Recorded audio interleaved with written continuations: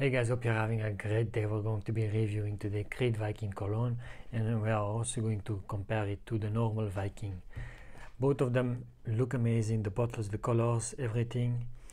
Uh, the juice of the Cologne is just a bit lighter compared to the normal Viking, but I don't think it really matters, the juice itself. Let's just spray it once it's airy. You're getting a lot of mandarin, lemon, bergamot. It's fruitier than the normal Viking. That out of the top of my head, from remembering the review I did yesterday, it's definitely fruitier. Let me just spray the normal Viking too.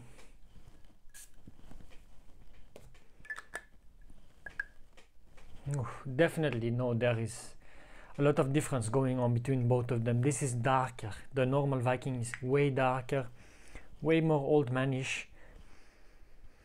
It's good, it's very appealing, old manish, strong. A lot of lavender in the in the normal Viking and it does smell a bit like Old Spice, but it's really not the same. It may have some kind of hint of Old Spice, the normal Viking, but that's it. This is really sophisticated smell. Now when I smell the Cologne version, this smells lighter, this smells fresher, this smells more mandarin, more lemon. Let me just spray it once more because it's a bit weak, I must say, compared to the normal Viking, which the normal Viking is very potent. Yeah, it's really there, you can smell it. It's good. It's both of them are good let me tell you this but i must say there are some batch variations just like there is with aventus because i have had samples several samples of the normal cologne and of the normal viking and a lot of them were different. For example when we are talking about the normal cologne version.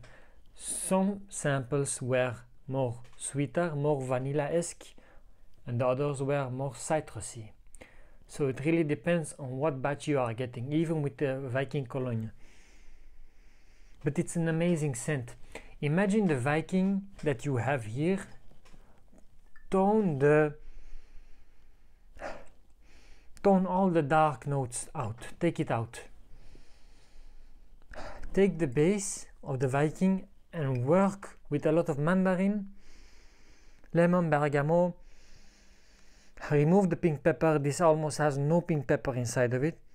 The lavender is also very weak which the viking has a lot of.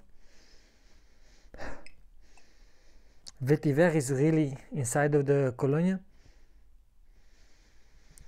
and the nice base of sandalwood which they both share. Both of them are great scents guys. It's just more for a different uh, public i must say. This one is more for older men i must say and the Cologne seems fresher and can be worn by younger men for sure. Both of them are amazing. If you're asking me, I would say get both of them because you can't go wrong with them. The only issue here is performance wise. You are not going to get astronomic performance with any of them actually, but it's going to be not bad. Like you're not going to have like a skin scent like some Aventus batches do like mine right now. But it's not going to be some kind of a bomb. I'm kind of a bit disappointed in the Colonia because this one, the, the longevity, the performance is less compared to the normal Viking. The Viking goes stronger. And coincidentally, they are both first batches, so they should be the best of best, but they are sadly not. I'm getting a lot more rosemary from the Viking Cologne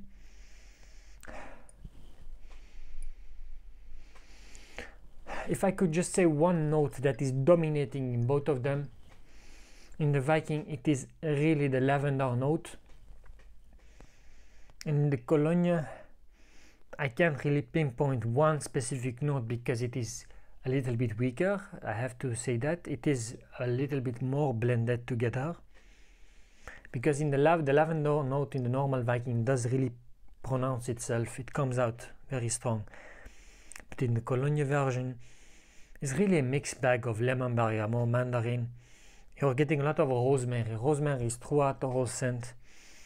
Both of them are amazing. I'm giving both of them like eight and a half, nine out of ten. You can't really go wrong with them.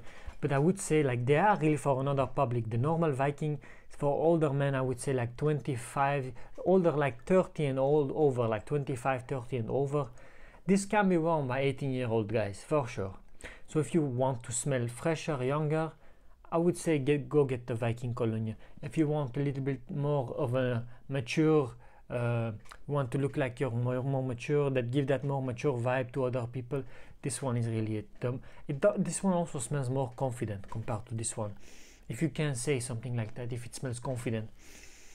This one is more playful more youthful and i believe it's the general trend what's happening right now even with aventus and aventus cologne the cologne versions are generally not sweeter but uh, fresher they are fresher uh, they are more toned down in the base, uh, less cedarwood, sandalwood, a lot more of those fresh citruses that you are getting.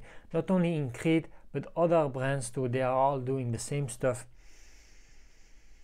The Cologne guys, I, lo I love both of them uh, to be honest. Like sometimes I'm telling myself like they are too weak for the money that you are spending because they are pretty pricey even though the Cologne is a bit cheaper. It's not much difference guys. You're going to be shelling out some money to buy these scents. And yeah if you if you, you really got to love this one. So i would say personally if you like it love it buy them but get a sample first and get two samples so you know what batch you you prefer because the batch variations are really there guys you believe me there are batch variations in these Creed colonies and the Viking only Aventus Colonia has no batch variations. I have smelled several uh, samples of Aventus Colonia. It has no batch variations. They are good. This is an amazing scent, guys. I would see myself wearing this going out with friends, meeting other guys, other women.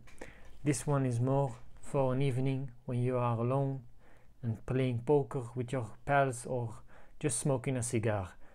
This one is more manly. This one is more youthful. This one lasts longer. This one has a bit more sillage. This one is a bit more of a skin scent, I must say, even though it is not really a skin scent, but it has some kind of skin scent elements to it. But both of them are good. Right now, a lot of nutmeg is coming out of the cologne. It's really a good niche scent. These scents are really not monotone. If I would say monotone, I would say the Viking. The cologne is, has more aspects to it and they are both good so i would say like go get yourself a sample enjoy yourself because both of them are good guys and if you got the money are willing to spend the money and don't want to be complaining afterwards because of the bad performance because of the shitty performance.